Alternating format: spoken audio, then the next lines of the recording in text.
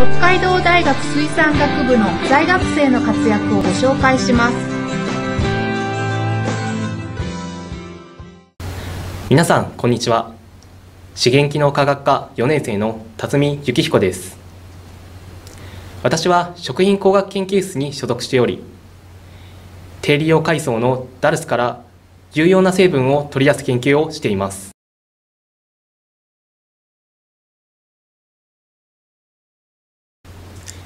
この研究を始めるきっかけとして私は SDGs にもありますように未利用低利用資源である海藻から健康機能性成分を作り出すことで食料生産だけではなく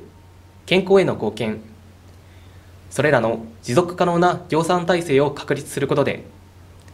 新たなビジネスモデルを生み出す研究に興味があったからです。ダルスには炭水化物やタンパク質が豊富に含まれています。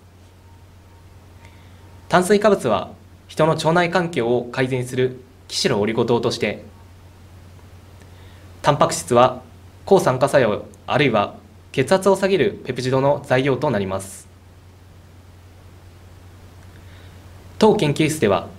酵素を用いてそれらを別々に調整していました。私はオリゴ糖とペプチドを同時に調整する方法がないかと模索していたところ